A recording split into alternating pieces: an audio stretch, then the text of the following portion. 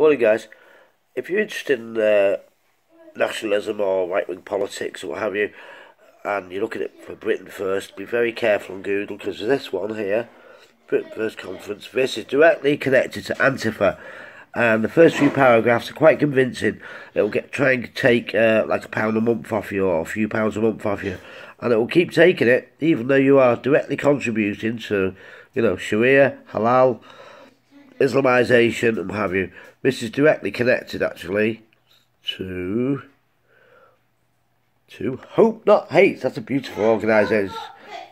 Josh, beautiful organi- beautiful name that isn't it? For a violence jihadist pro paedophilia gang. Uh, load of Nazis. Yes, Hope Not Hate.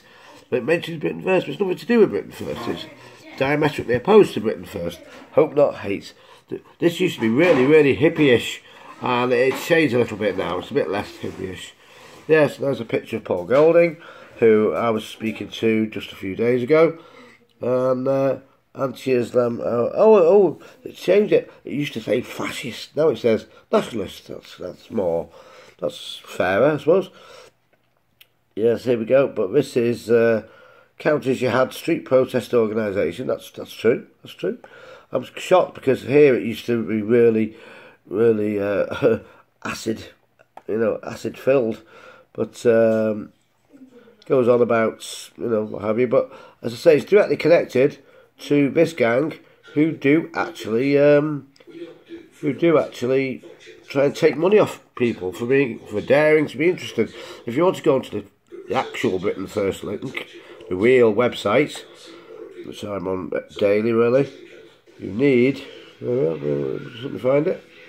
There's not that many fake ones here. There we go. You want that one? That's the one.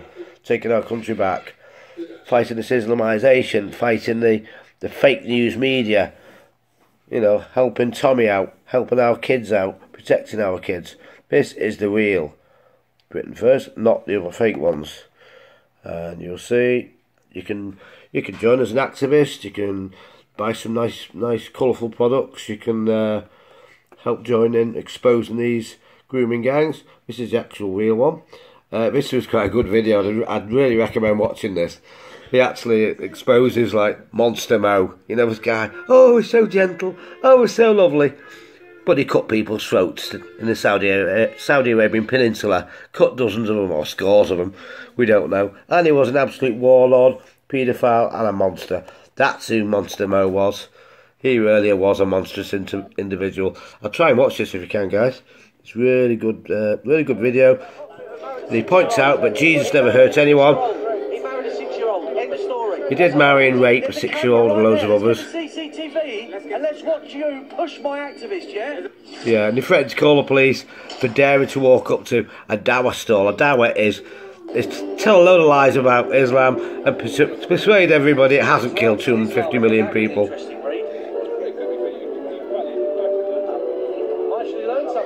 Might actually learn something. How arrogant is that? Shows what pigs they are. He's already read the Quran. He knows all about the massacres and the, the behaviour of the warlords and the female genital mutilation. So have a look, guys, but be careful of that uh, fake link because they will take money off you and probably empty your bank account. Whereas these guys will certainly not.